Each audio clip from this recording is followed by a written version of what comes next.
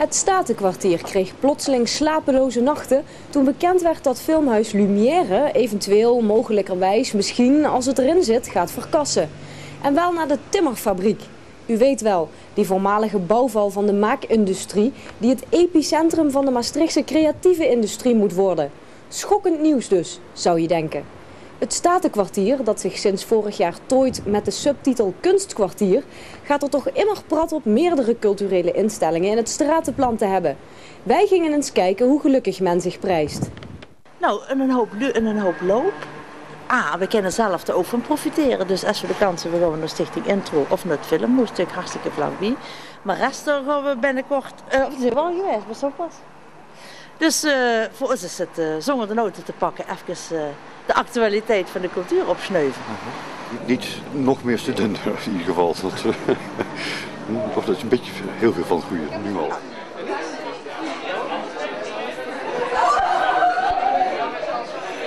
Dat was de studenten Maastrichter Filmmacht. Dus jullie nog niks gezien?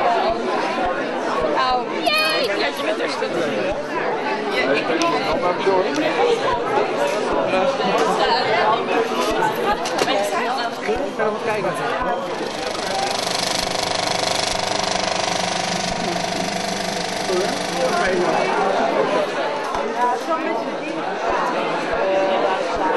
Daar op die plek waar het ligt. En, die, en, ik vind gewoon ook, de grootte is goed genoeg, vind ik, wat, wat die zalen er zijn.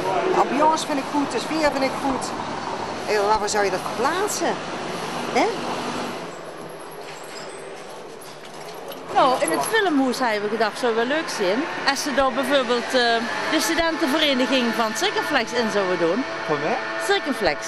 Dat zouden we wel wel fantastisch vinden als die in het filmhoes komen. Nu zijn ze dus met alle moeite aan het proberen om dat geforceerd in deze overbelaste smaal straat te persen.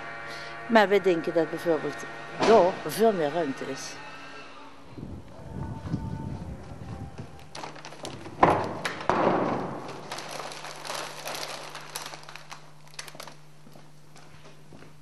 We hebben uh, een klein jaartje geleden een buurtfeest gegeven. En dat is door beide partijen ontzettend goed ontvangen. Gewoon omdat je elkaar uh, op een andere manier en een ontspannen manier leert kennen. Uh,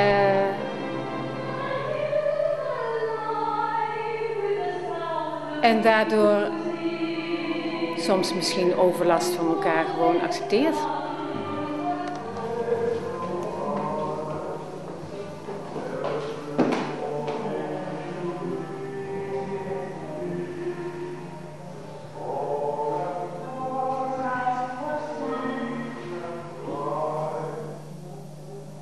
Ik hoop dat ze ons zien als, als uh, een, plek waar uh, goede dingen gebeuren in Maastricht. In een mooi pand, wat uh, veel liefde krijgt met een tuin, wat veel liefde krijgt, wat voor iedereen open is, voor de hele buurt. En dat er op het vlak van cultuur gewoon ontzettend goede dingen gebeuren die iedereen mag zien. En zo zijn er meerdere instellingen in de buurt. En dat is gewoon... Eigenlijk moet je het koesteren in de buurt. Dat er in een wijk zoveel culturele instellingen zijn... die op loopafstand van elkaar af liggen... en toch heel sterk hun eigen identiteit behouden. Maar het is wel één buurt. Je leeft van jaar tot jaar of tot... Uh, ik zeg altijd, je moet nooit in een wachtkamersituatie gaan zitten, omdat je dan helemaal niks meer bereikt. Dus gewoon doorgaan met je ding waar je in gelooft en waarvan je overtuigd bent dat het goed is. En ook in een buurt.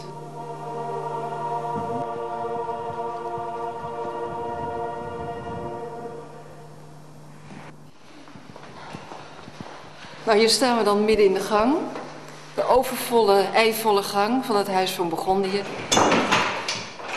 ja, we barsten gewoon echt uit ons jasje. En als je het dan hebt over de timmerfabriek, hè, de, cultuurfabriek aan het bassin... waar we echt hopen dat we daar over twee, drie jaar zitten... samen met Lumière, met Intro in Situ, met een stuk van het vervolg... en hopelijk ook met de middenzaal van het Theater aan het Vrijthof... dan denken we dat we daar echt nog meer dan we nu in de buurt uh, gaan betekenen... dat we nog meer voor de stad kunnen betekenen in een nieuw samengaan... van al die instellingen die ik net noemde... een buurt is mooi, maar het gaat nog een niveau hoger zometeen. Zonder dat het minder wordt voor de Maastrichtenaar of voor, wat, voor, voor de bezoeker. Het wordt juist een nieuwe dynamiek in de stad. En ja, daar kijken wij zeer naar uit met uh, onze partners.